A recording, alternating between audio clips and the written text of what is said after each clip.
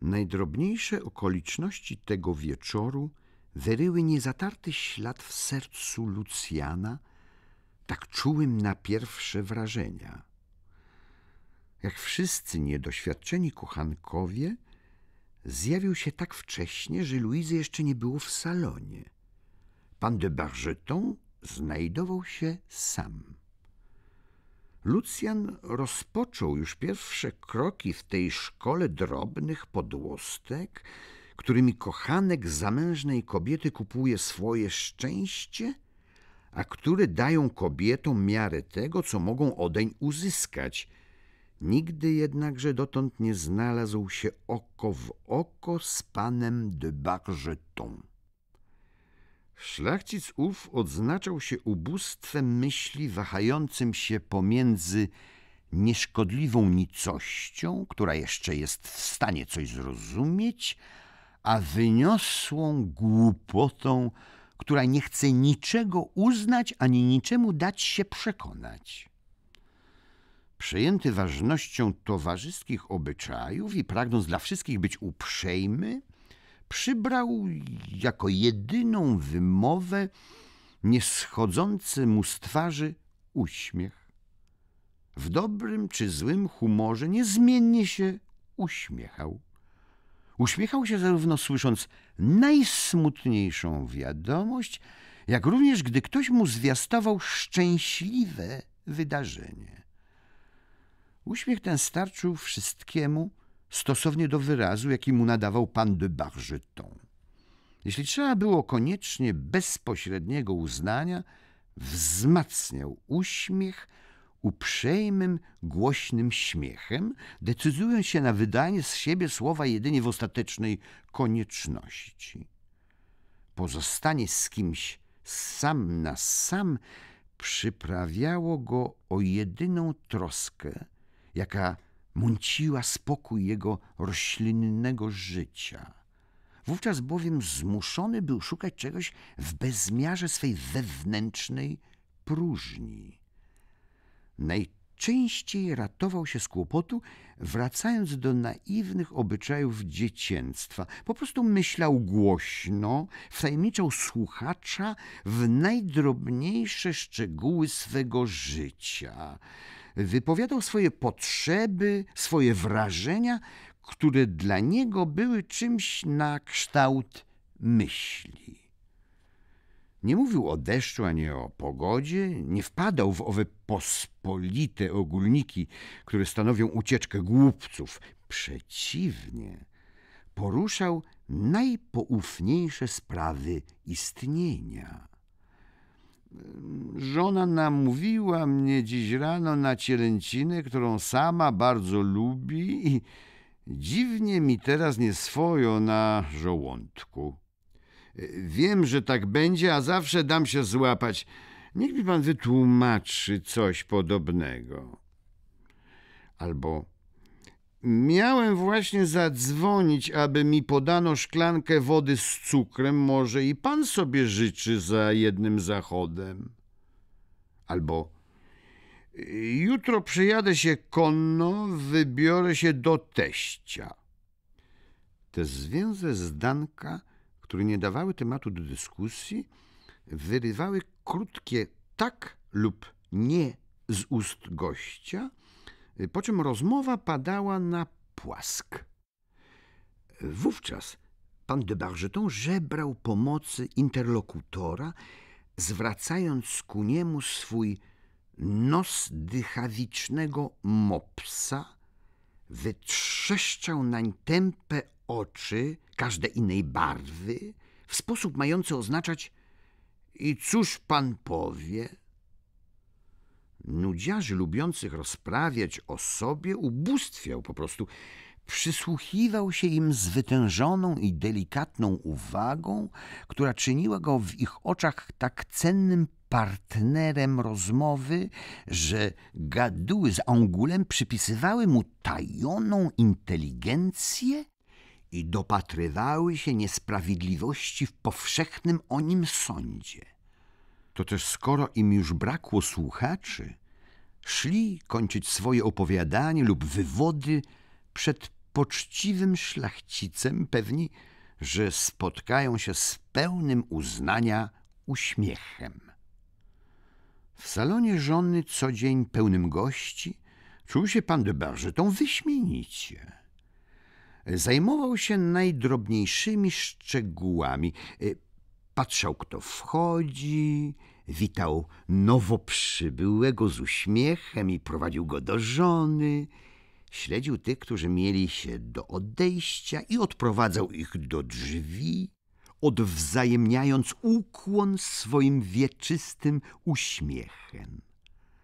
Gdy wieczór był ożywiony i gdy już widział, że każdy jest przy swoim zajęciu, wówczas szczęśliwy w swojej niemocie, wystawał jak bocian na długich nogach, udając, iż przysłuchuje się politycznej rozmowie lub też przyglądał się kartom któregoś z graczy, nic nie rozumiejąc, bo nie miał pojęcia o żadnej grze.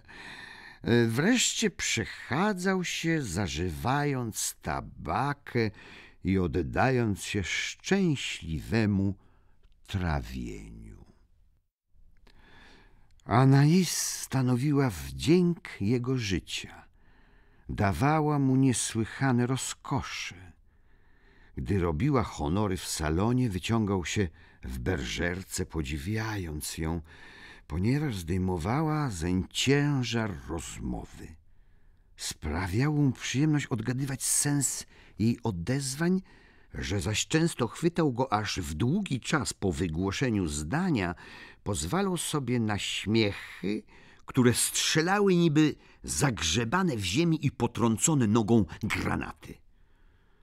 Szacunek jego dla żony graniczył z ubóstwieniem. A czyż ubóstwienie czegokolwiek nie starczy za szczęście całego życia? Jako rozumna i szlachetna osoba, Anais nie nadużywała swej przewagi. Odgadłszy w mężu ową łatwą naturę dziecka, które niczego innego nie pragnie, jak tylko aby nim kierowano. Nauczyła się dbać o niego tak, jak się dba na przykład o płaszcz. Utrzymywała męża czysto, czesała, karmiła, pielęgnowała. Czując tę dbałość, pan de Bargeton nabrał dla żony psiego wprost przywiązania. Tak łatwo jest dawać szczęście, które nic nie kosztuje. Pani de Bargeton, nie widząc u męża innej słabości prócz dobrego stołu, dawała mu znakomite obiady. Miała dań współczucie, nigdy się na niego nie skarżyła. Takiż ten i ów, nie rozumiejąc, że źródłem milczenia jest jej duma, przypisywał panu de Bargeton jakieś ukryte przymioty. Ułożyła go zresztą niemal po żołniersku, tak iż człowiek ten ślepo poddawał się we wszystkim woli żony. Mówiła mu, musisz iść z wizytą do pana X lub pani Y i szedł natychmiast, jak żołnierz na posterunek. W jej obecności trzymał się nieruchomo, jakby prezentując broń. W tej chwili była mowa o tym, aby przeprowadzić wybór tego milczka na posła. Lucjan bywał w tym domu zbyt krótko, aby uchylić zasłonę, pod którą ukrywał się ów nieprawdopodobny charakter. Pan de Bargeton, zatopiony w swej berżerce i zdający się wszystko widzieć i rozumieć, otulony w godność milczenia, zdawał mu się imponującą osobistością.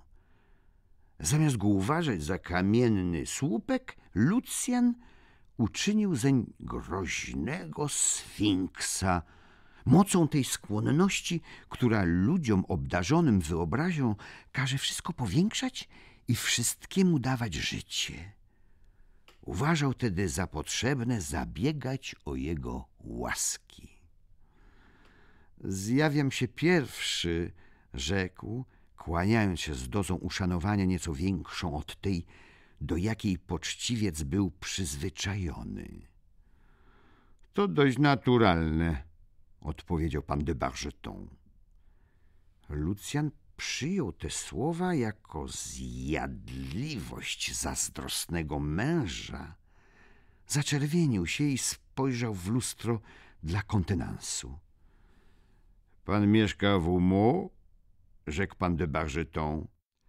A osoby, które mieszkają dalej, przybywają zawsze wcześniej niż te, które mieszkają blisko.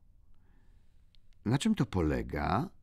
zapytał Lucjan, przybierając uprzejmą minę. Nie wiem, odparł pan de Bargeton, który już zapadł w swą nieruchomość. Nie chciał pan na tym pomyśleć? Dodał Lucjan. Człowiek zdolny uczynić spostrzeżenie łatwo znalazłby jego przyczynę. A, rzekł pan de Bargeton, przyczyny finalne. Lucjan począł wysilać mózg, aby podtrzymać rozmowę, która po tych słowach upadła. Pani de Bargeton zapewne się ubiera, rzekł z drżeniem, zawstydzony głupotą tego zapytania. Tak, ubiera się, odparł mąż najnaturalniej. Lucjan podniósł oczy ku belkom sufitu, pomalowanym na szaro, nie mogąc znaleźć dalszego frazesu. Zarazem spostrzegł nie bez przestrachu, że mały wiszący świecznik ze starymi wisiorkami z kryształu uwolniono z gazy i opatrzono świecami. Meble były bez pokrowców. Na czerwonym adamaszku widniały spłowiałe kwiaty. Te przygotowania zwiastowały, iż zebranie będzie niezwykłe. W duszy poety poczęła się budzić wątpliwość co do własnego kostiumu. Był w butach. Ze zdumieniem połączonym z obawą podszedł obejrzeć wazon japoński, zdobiący konsolkę z girlandami z czasów Ludwika XV. Po czym przeląkł się, iż narazi się mężowi, nie starając się o jego względy, i postanowił próbować, czy poczciwiec nie ma jakiego konika, na którego by go można wsadzić. Pan rzadko wyjeżdża? rzekł do pana de Bargeton, podchodząc ku niemu. Rzadko. Znowu milczenie. Pan de Bargeton śledził jak podejrzliwa kotka najmniejsze poruszenie Lucjana, który mącił jego spokój. Każdy z nich lękał się drugiego. Czyż miałby podejrzenia co do moich częstych wizyt? Pomyślał Lucjan. Wydaje się jakiś bardzo nieżyczliwy. W tej chwili, szczęśliwie dla Lucjana, z trudnością wytrzymującego niespokojne spojrzenia, jakimi pan de Bargeton obrzucał go, przechadzając się tam i z powrotem, stary służący dzisiaj przybrany w liberię oznajmił pana du Châtelet. Baron wszedł z całą swobodą, przywitał się poufale z de Bargetonem, Lucjana zaś obdarzył lekkim skinieniem głowy, które wówczas było w modzie, lecz które Lucjanowi wydawało się lekceważące. Du Châtelet miał pantalony olśniewającej białości ze strzemiączkami, które utrzymywały je w formie.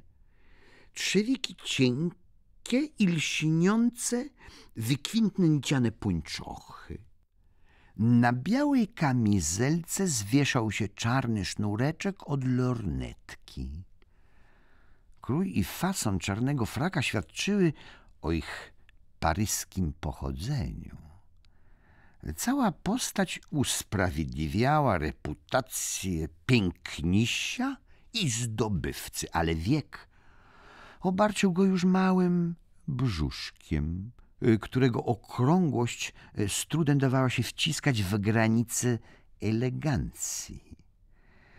Y, Baron malował włosy i faworyty. Posiwiały w trudach podróży. To dawało coś twardego jego fizjonomii. Cera, niegdyś bardzo delikatna, przybrała miedziany odcień właściwy ludziom wracającym z Indii. No, bądź co bądź, cała postać, choć nieco śmieszna przez niestarzejące się pretensje, zdradzała jednak przystojnego sekretarza do szczególnych poruczeń jej cesarskiej wysokości. Ujął palcami lorynetkę, obrzucił spojrzeniem nankinowe spodnie Lucjana, buty, kamizelkę, niebieski fraczek miejscowego chowu, słowem całą osobę rywala. Następnie schował z flegmą lorynetkę do kamizelki, jakby chciał powiedzieć: No, jestem zadowolony. Zmiażdżony zrazu elegancją finansisty, Lucjan pomyślał, iż przyjdzie dlań chwila odwetu, gdy ukaże całemu zebraniu swą twarz ożywioną tchnieniem poezji. Niemniej jednak doświadczył w duchu żywego cierpienia, które wzmogło jeszcze wewnętrzną niepewność płynącą z mniemanej niechęci pana de Bargeton. Baron wyraźnie pragnął przygnieść Lucjana całym ciężarem społecznej wyższości, aby tym bardziej upokorzyć jego nędzę. Pan de Bargeton, który liczył na to, iż teraz nie będzie się już potrzebował odezwać ani słowem, stropił się milczeniem, jakie zachowali obaj rywale, badając się wzrokiem. Ale gdy już się znalazł w ostatecznym kłopocie, miał jedno pytanie, które chował jako deskę ratunku i które uznał za stosowne wyrzucić, przybierając minę pełną zainteresowania. I cóż, drogi panie, rzekł do pana du Châtelet, cóż tam nowego? Co mówią w świecie? Ależ odparł ze złośliwą intencją dyrektor podatków. Coś nowego to pan Chardon. Niech się pan zwróci do niego. Czy przynosi nam pan jaki ładny poemacik? Zapytał swobodnie baron, poprawiając spókiel starannie ułożonych włosów. Aby się przekonać, czy jest coś wart, powinien bym go przedłożyć pańskiej ocenie, odparł Lucjan. Pan baron uprawiał poezję wcześniej ode mnie. Ba! Kilka niezłych kupletów skleconych dla rozrywki, jakieś okolicznościowe piosenki, romance, z których dopiero muzyka coś robiła. Wreszcie sążniowa epistoła do jednej sióstr Błonapartego. Niewdzięcznik! To jeszcze nie są tytuły do sławy. W tej chwili pani de Bargeton ukazała się w całym blasku starannie wypielęgnowanej toalety. Na głowie miała żydowski zawój ozdobiony wschodnią agrafą. Gazowa szarfa, pod którą błyszczały kamee naszyjnika, okręcała się wdzięcznie koło szyi. Suknia z wzorzysto malowanego muślinu o krótkich rękawach pozwalała jej odsłonić szereg bransolet piętrzących się na białych ramionach. Ten teatralny strój oczarował Lucjana. Pan du Châtelet posunął się w stronę królowej, zasypując ją ckliwymi komplementami, które wywołały na twarzy Luizy uśmiech. Tak szczęśliwa była, że te pochwały spotykają ją w obecności Lucjana. Wymieniła tylko jedno spojrzenie z drogim poetą i odpowiedziała dyrektorowi podatków, raniąc go grzecznością, która odtrącała go na sto kroków. poczęli się zjawiać zaproszeni goście. Najpierw ukazali się biskup i wielki wikariusz. Dwie godne i uroczyste postaci, które tworzyły wybitny kontrast. Jego dostojność był wysoki i chudy, towarzysz jego krótki i tłusty.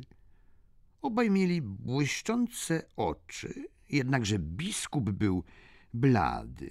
Policzki zaś wielkiego wikariusza tryskały rumieńcem zdrowia. Obaj odznaczali się umiarkowaniem gestów i poruszeń, wydawali się bardzo ostrożni. Wstrzemięźliwość ich i milczenie miały w sobie coś onieśmielającego. Uchodzili w okolicy za bardzo tęgie głowy. Tuż za księżmi wkroczyli oboje państwo de Chandour, niezwykłe postaci, które mogłyby się wydać czystym wymysłem ludziom nieznającym prowincji. Mąż Amelii, kobiety, która występowała jako antagonistka pani de Bargeton, pan de Chandour, nazywany krótko Stanisławem, był to młody, niegdyś, człowiek jeszcze szczupły w 45 roku, o twarzy podziurkowanej jak sito. Krawat miał zawsze zawiązany w ten sposób, iż przedstawiał dwa groźnie sterczące ostrza, jedno na wysokości prawego ucha, a drugie pochylone ku czerwonej wstążeczce legii. Poły u fraka były szeroko odgięte. Kamizelka bardzo otwarta odsłaniała koszulę wzdętą, nakrochmaloną, zapiętą o wiele za bogatymi i ciężkimi broszami. Słowem, cały strój odznaczał się przesadą, która czyniła zeń coś tak karykaturalnego, iż widząc go, obcy nie mogli się wstrzymać od śmiechu. Stanisław spoglądał wciąż po sobie od góry do dołu z pewnym zadowoleniem, sprawdzając liczbę guzików u kamizelki, śledząc faliste linie obcisłych majtek, y, pieszcząc swoje łydki spojrzeniem, które zatrzymywało się miłośnie na końcach bucików. Gdy przestawał się tak oglądać, oczy jego szukały lustra. Y, badał, czy włosy są dość starannie ułożone. Spoglądał po kobietach, okiem pełnym zadowolenia, wkładając palec do kieszeni od kamizelki i przeginając się w tył. Wszystkie te kogucie pozy zapewniały mu powodzenie w arystokratycznym towarzystwie, gdzie uchodził za wzór męskiej piękności. Rozmowa jego naszpikowana była przeważnie pieprznymi aluzjami modą XVIII wieku. Ten nieznośny styl czynił go dość mile widzianym w towarzystwie kobiet. Bawiły je te koncepta. Pan du zaczynał budzić w nim pewien niepokój. W istocie zaintrygowany obojętnością pięknego podatkowca, pobudzony minami dającymi do zrozumienia, iż darmo kusiłyby się wyprowadzić go z obojętności, podrażniony wreszcie pozami znudzonego sułtana, kobiety zabiegały o niego żywiej jeszcze niż zaraz po przybyciu, odkąd pani de Bargeton zajęta była swym angulemskim Byronem. Amelia była to nieduża kobietka o niezręcznie komedianckich tonach, pulchna, biała, z czarnymi włosami, przesadna, głośna, z pretensjonalną główką obładowaną piórami w lecie, kwiatami w zimie, lubująca się w wymowie, którą wszelako przerywał swym akompaniamentem gwizd starannie tajonej astmy.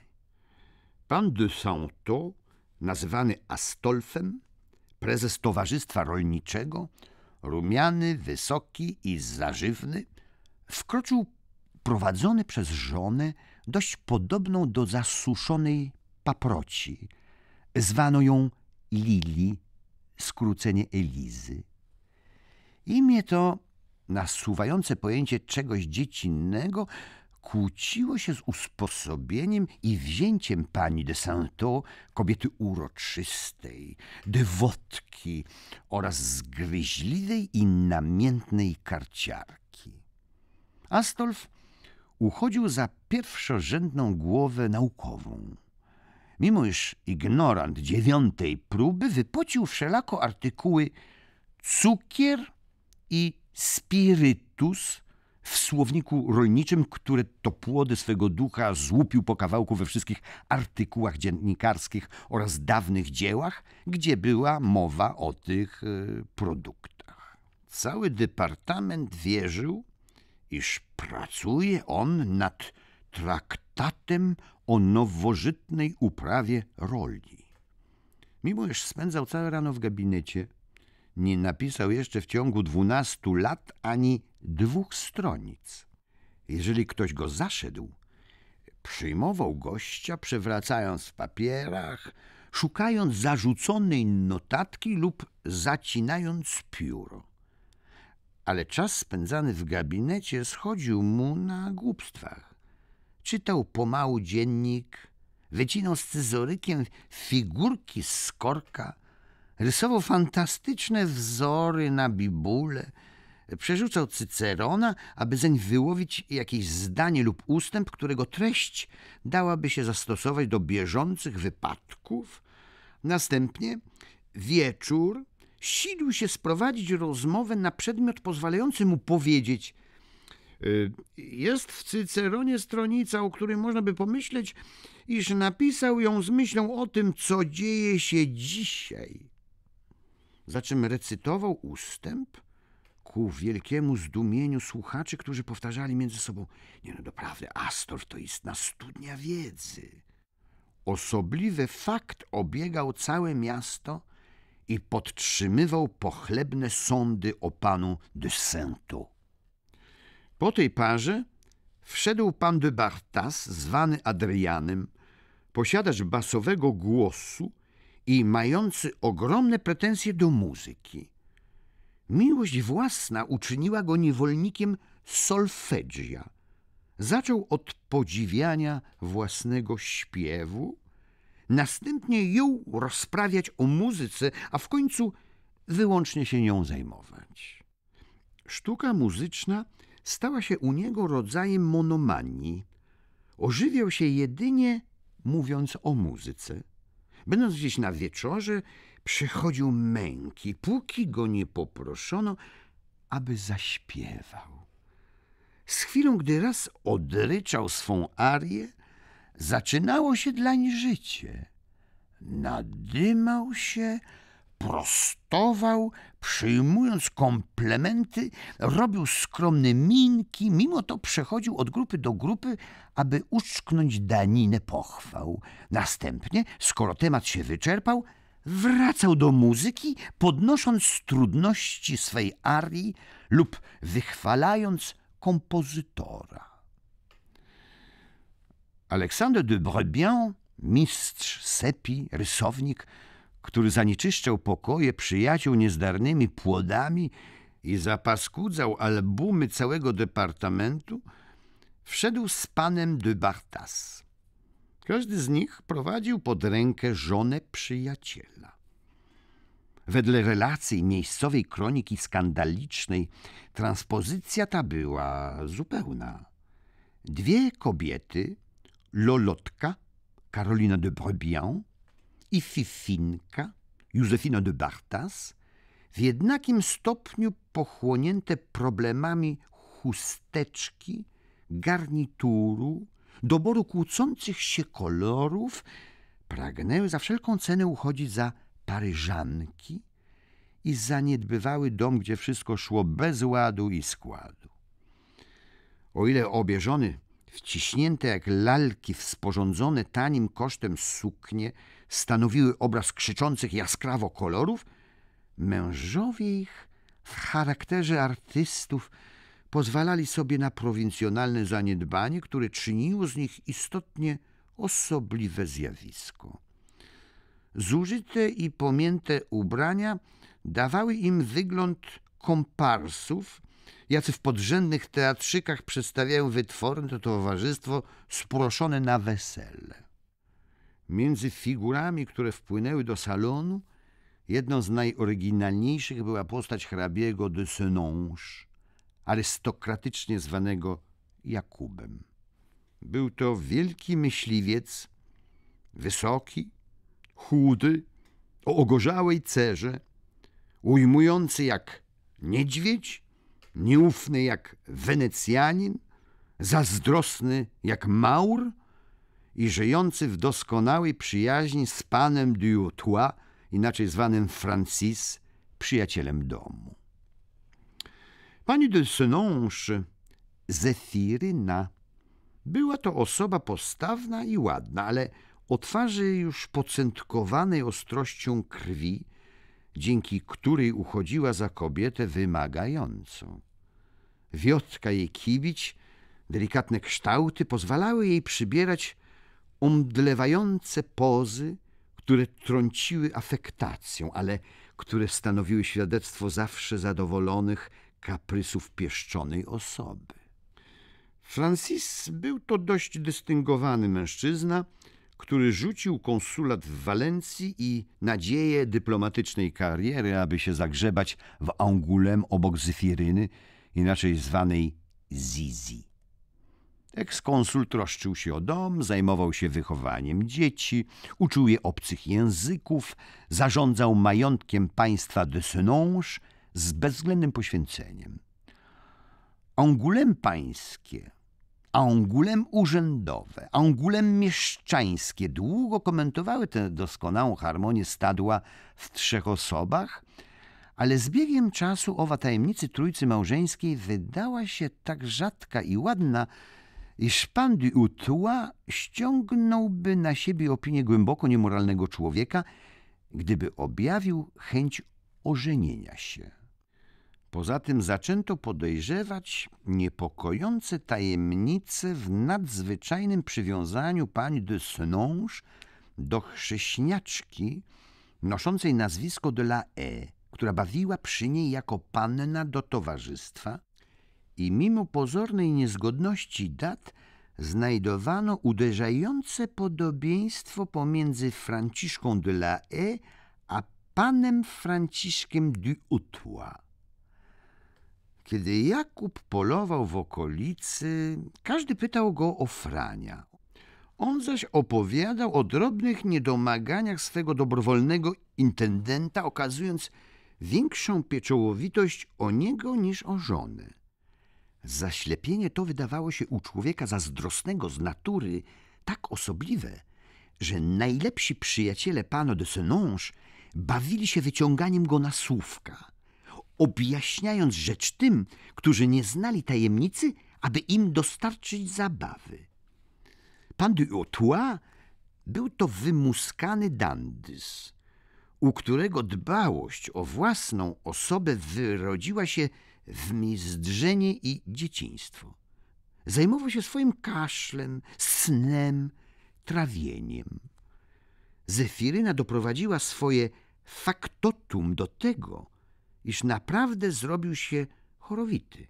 Otulała go watę, spowijała, opychała lekarstwami, karmiła go wyszukanymi daniami jak salonowego pieska. Nakazywała mu taką lub inną potrawę, albo przeciwnie, zabraniała. Haftowała mu kamizelki, fontazie i chustki do nosa. Przyzwyczaiła go w końcu do noszenia tak ładnych rzeczy, iż przekształciła go w rodzaj japońskiego bożka. Harmonia między tą parą była bez najlżejszej chmurki. Zizi spoglądała co chwilę na Frania. Franio zdawał się czerpać myśli w oczach Zizi. Ganili uśmiechali się razem.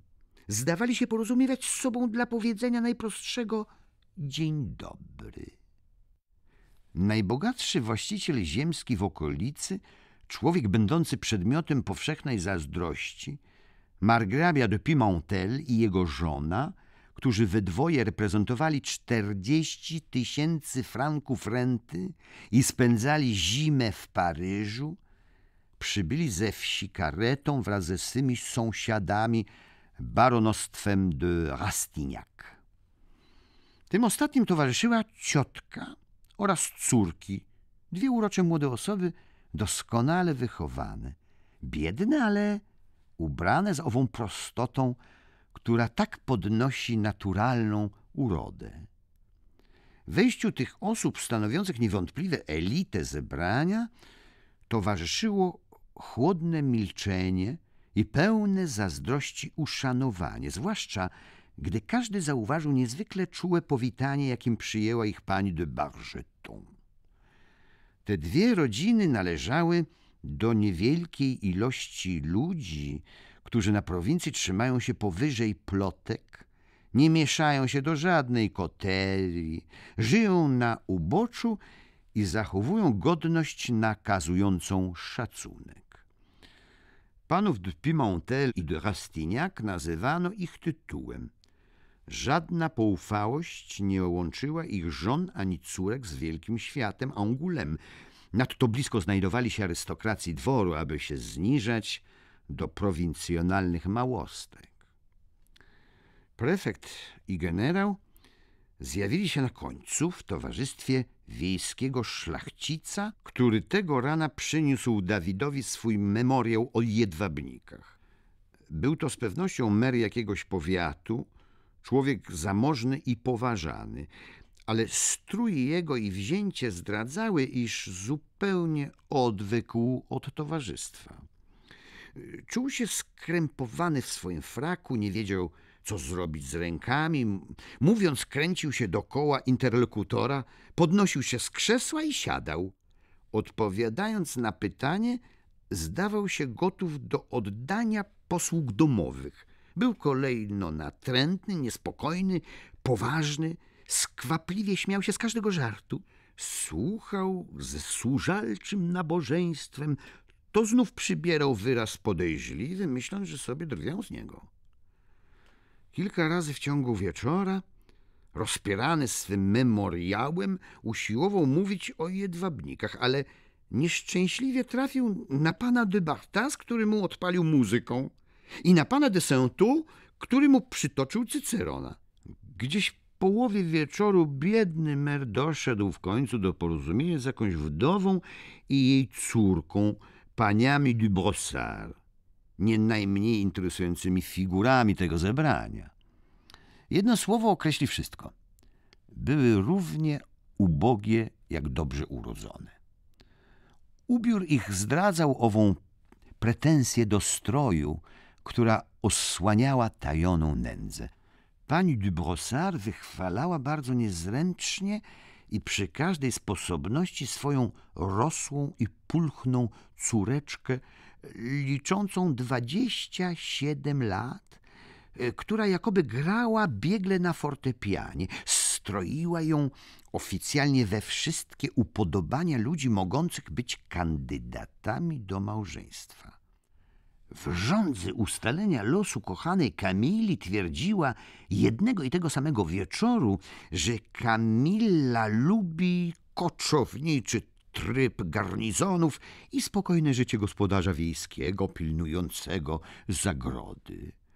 Obie zachowywały obrażoną, słodko-kwaśną godność osób, nad którymi każdy z przyjemnością ubolewa, którymi ludzie interesują się przez egoizm i które zgłębiły pustkę pocieszających słówek, jakimi świat lubi częstować nieszczęśliwych. Pan de Severac miał 59 lat, był wdowcem i bezdzietnym. Matka i córka słuchały tedy z nabożnym podziwem szczegółów, jakich im udzielał co do swej hodowli jedwabników.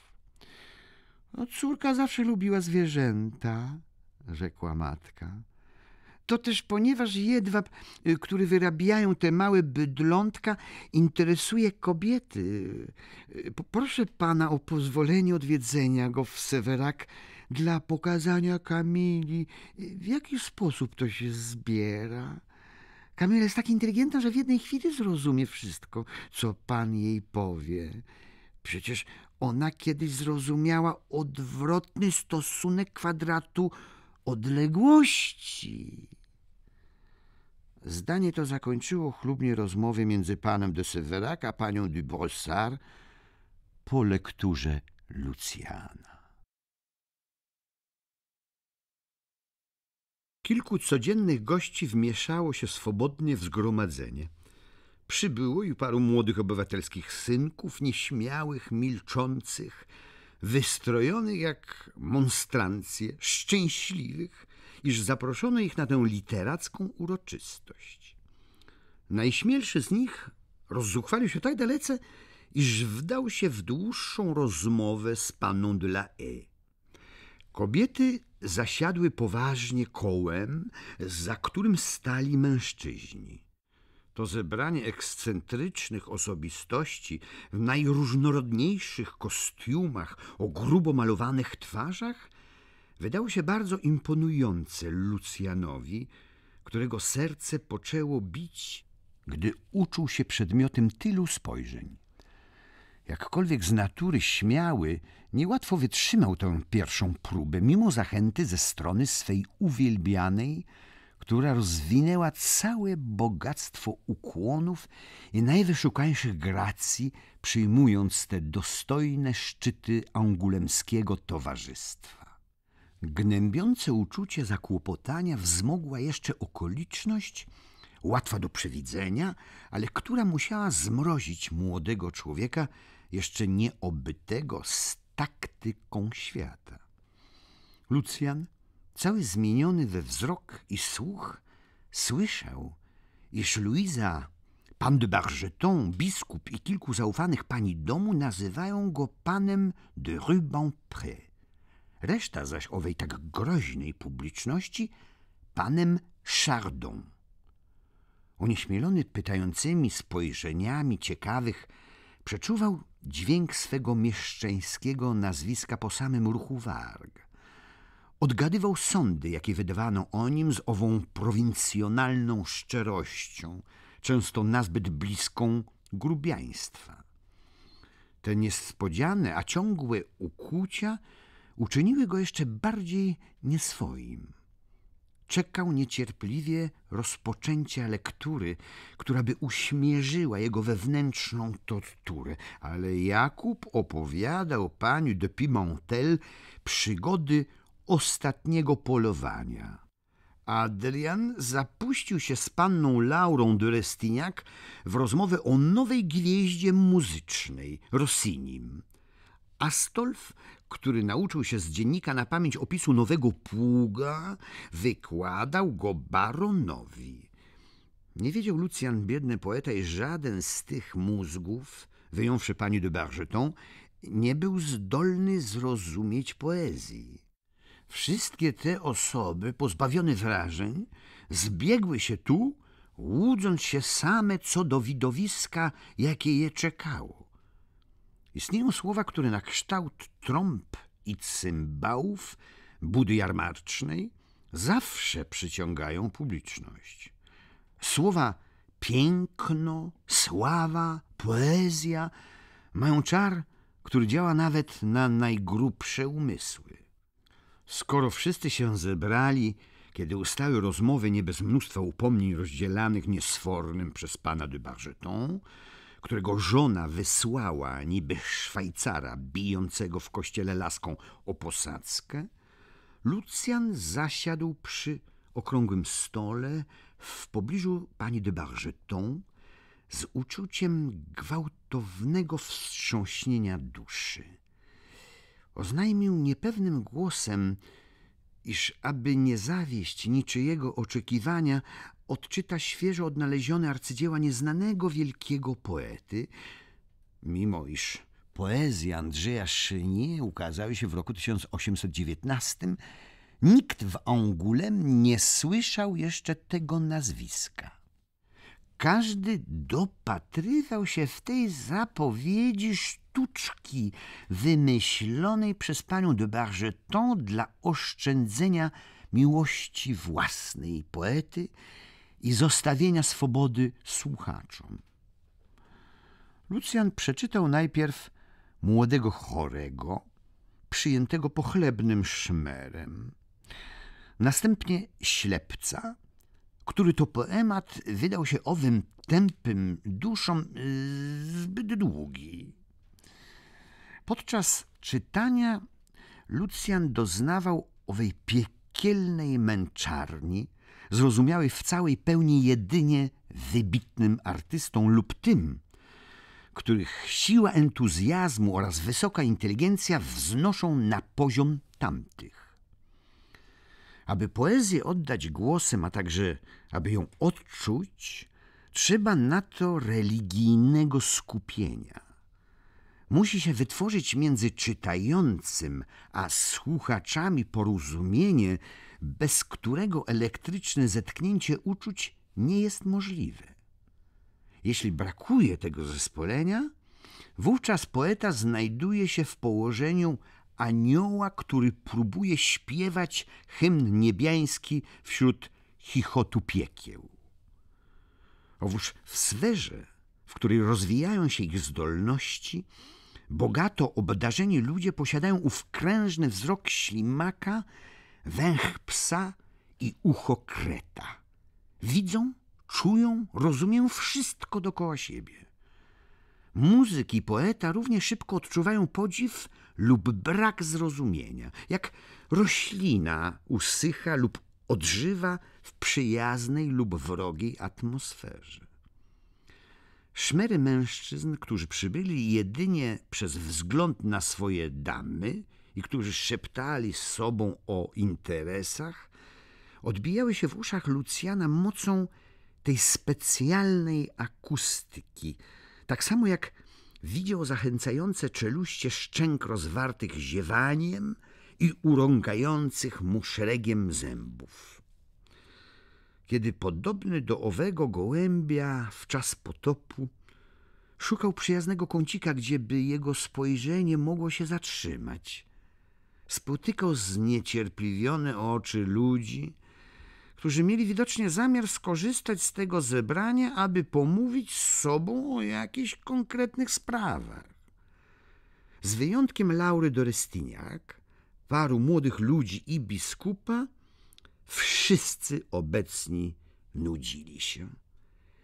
Niewątpliwie ci, którzy rozumieją poezję, starają się rozwinąć w duszy to, co autor pomieścił w zarodku w swych wierszach – ale ci lodowaci słuchacze, dalecy od wdychania duszy poety, nie słuchali nawet jego głosu. Lucjan uczuł tak głębokie zniechęcenie, iż zimny pot oblał mu koszulę. Płomienne spojrzenie rzucone przez Luizę w stronę, której się obrócił, dało mu siłę dokończyć, ale Serce poety krwawiło się tysiącem ran. Cóż, bardzo się bawisz, Fifi? Rzekła do sąsiadki chuda Lili, która oczekiwała, zdaje się, sztuk łamanych. Nie pytaj, duszko. Kiedy słyszę czytanie, zaraz mi się oczy kleją. Mam nadzieję, że na Iz nie zechce nas zbyt często karmić wierszami wieczorem. rzekł Franio. Kiedy słucham czytania po obiedzie, to wytężenie uwagi fatalnie wpływa na moje trawienie. Biedny kiciuś, rzekła po cichu Zefiryna, napij się wody z cukrem. Dobrze recytuję, rzekł Aleksander, ale i tak e, wolę wista. Słysząc tę uwagę, którą przyjęto jako dowcip ze względu na angielskie znaczenie słowa, zwolenniczki kart zauważyły, iż deklamator potrzebuje wypoczynku. Pod tym pretekstem jedna czy dwie pary wymknęły się do buduaru. Lucjan, ubłagany przez Luizę, przez uroczą Laurę de Restiniak i przez biskupa, obudził uwagę słuchaczy dzięki werwie kontrrewolucyjnych jambów, które wiele osób porwanych ciepłem deklamacji oklaskiwało, nie rozumiejąc. Na takich ludzi działa podniesiony głos, jak na grube podniebienia mocny trunek. Gdy podawano lody, Zefiryna posłała Frania, aby obejrzał tomik i udzieliła sąsiadce swej Amelii wiadomości, że wiersze, które czytał Lucjan, są drukowane. Ależ, odparła Amelia z widoczną błogością, to bardzo proste, przecież pan de Rubempré pracuje u drukarza. To tak, rzekła spoglądając na Lolotę, jak gdyby ładna kobieta sama sobie uszyła suknię.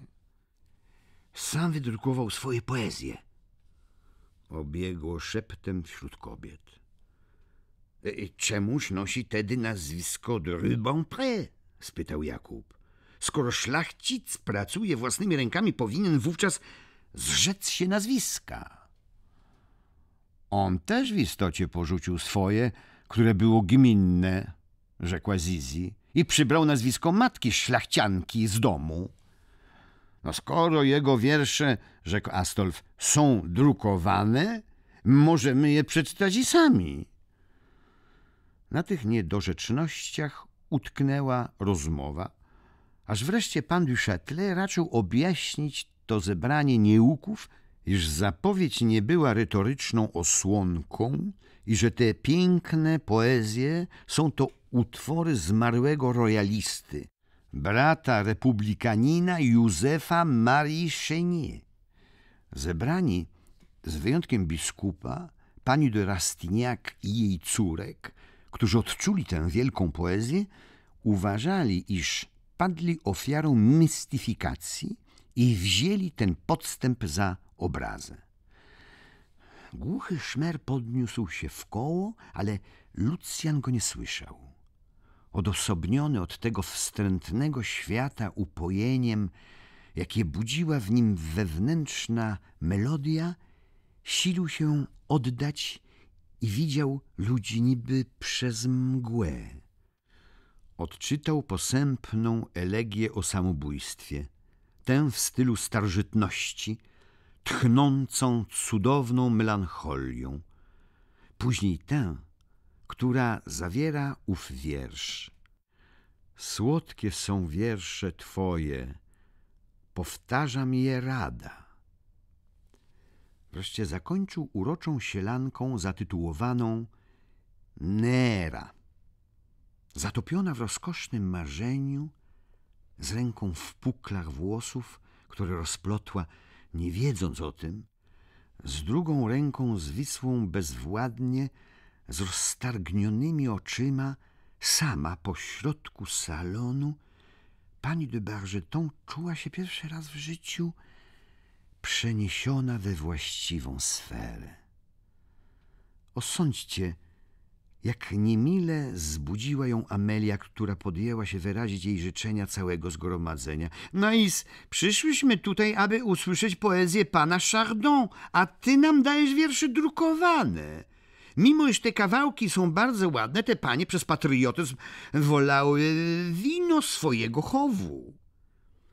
Czy nie znajduje pan, że język francuski niezbyt nadaje się do poezji? Rzekł Astolf do dyrektora podatków. Proza Cycerona jest dla mnie tysiąc razy poetyczniejsza. Prawdziwa poezja francuska to poezja lekka, piosenka, odparł pan du Châtelet. Piosenka dowodzi, że nasz język jest bardzo muzykalny, rzekł Adrian.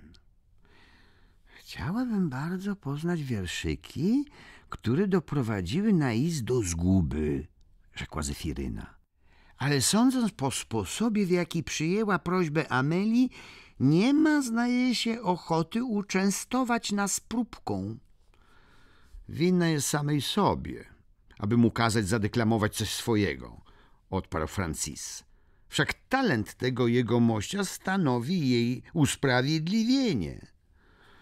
Pan, który byłeś w dyplomacji, uzyskaj to dla nas, rzekła Amelia do pana du Châtelet. Nic łatwiejszego, odparł baron. Eks-sekretarz do szczególnych poruczeń, przyzwyczajony do tych intryżek, podszedł do biskupa i zręcznie wysunął go naprzód. Zagadnięta przez duchową osobę Nais musiała poprosić Lucjano o jakiś utwór, który umie na pamięć. Szybki triumf barona w tej negocjacji zyskał mu powłóczyste spojrzenie Amelii. Stanowczo ten baron jest bardzo sprytny, rzekła do Loloty. Lolota pamiętała słodko-kwaśną uwagę Amelii o kobietach, które same sobie robią suknie. Odkądże to uznajesz baronów cesarstwa? Odparła z uśmiechem. Lucjan próbował przebóstwić swoją ukochaną w odzie, którą poświęcił jej pod tytułem wynalezionym przez wszystkich młodych ludzi na wyjściu z kolegium. Oda ta, pieszczona z takim umiłowaniem, upiększona całą miłością, jaką nosił w sercu, wydała mu się jedynym dziełem zdolnym walczyć z poezją Szyniera. Rzucił dość zdobywcze spojrzenie w stronę pani de Bargeton, wymawiając tytuł do niej. Następnie upozował się dumnie dla wygłoszenia tego ambitnego utworu.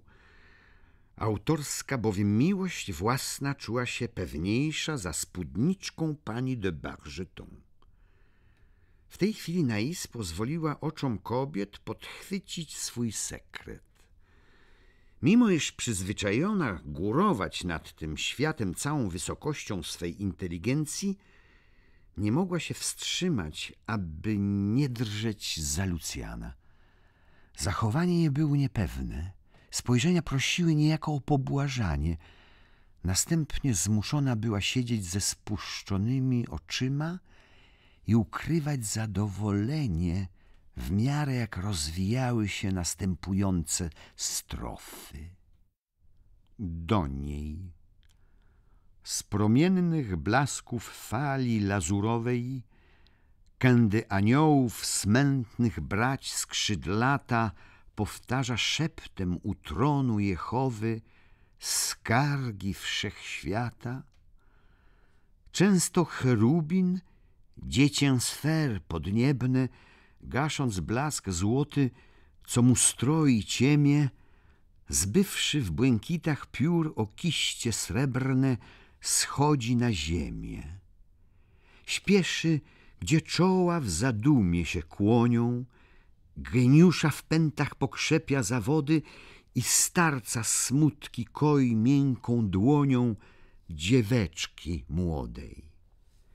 Zbiera łzy żalu posępnych zbrodniarzy, matce strapionej szepcze miej otuchę z radosnym sercem na swej szali waży miłość i skruchę. Jeden z tych posłów wśród nas tutaj bawi, litośnie dzieląc ziemskie nasze losy i patrzy okiem, co we łzach się pławi w jasne niebiosy. Nie czoła jego zaduma wpółsenna boskości jego sekret mi zdradziła, ni głosu słodycz, ani ta płomienna ucz jego siła. Lecz gdy niebacznie biedne serce moje na tyle czarów dłoń ściągnęło drżącą, spotkało straszną archanioła zbroję, chłodną i lśniącą. Naucz mnie, naucz, cudny serafinie, magicznej pieśni ziemi, nieb i morza. Ma jaźń niech z tobą na wieki popłynie w modre przestworza. Niech zespolone, bratnie, nasze duchy pośród szaleństwa nadobłocznej jazdy sieją ku ziemi marzeń swych okruchy, niknące gwiazdy. Czy rozumie pan tę szaradę? Rzekła Amelia do pana du Châtelet, zwracając nań zalotne spojrzenie.